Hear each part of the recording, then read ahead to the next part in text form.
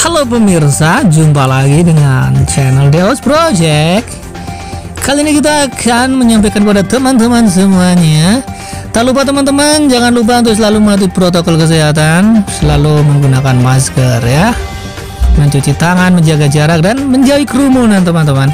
Kali ini kita akan membahas sebuah berita dari yang lagi viral ya beberapa hari terakhir ini yang viral hari ini adalah pengguna media sosial ini dihebohkan teman-teman dengan munculnya sinyal SOS di Pulau Laki Kepulauan Seribu melalui aplikasi Google Map teman-teman.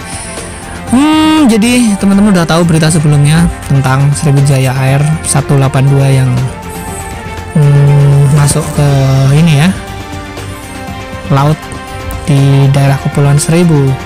Hmm, di sekarang ada kemungkinan-kemungkinan bahwa tidak semua korban itu meninggal dunia teman-teman. Bahkan ada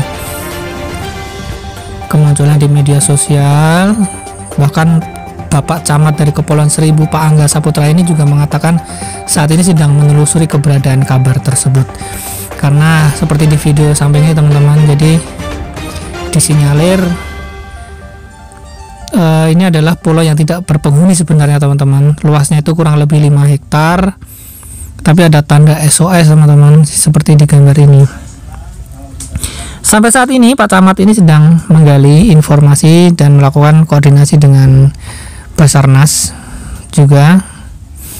Semoga nanti hasil pencariannya dapat membuahkan hasil teman-teman. Apakah ini benar-benar ada yang masih hidup ada beberapa berita simpang siur mengatakan tiga orang ada yang itu data lama ada yang bilang hoax.